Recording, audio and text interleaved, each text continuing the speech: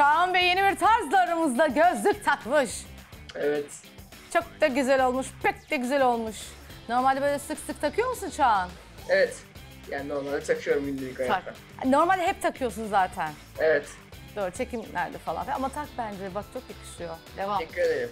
Aksesuar, gözlük aksesuarı seven var mı aranızda arkadaşlar? Güneş gözlüğü dışında.